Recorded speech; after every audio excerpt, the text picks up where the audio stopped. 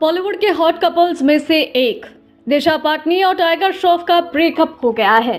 जी हाँ एक तरफ़ तो यहाँ कई रिश्ते बन रहे हैं तो वहीं कई रिश्ते टूट भी रहे हैं।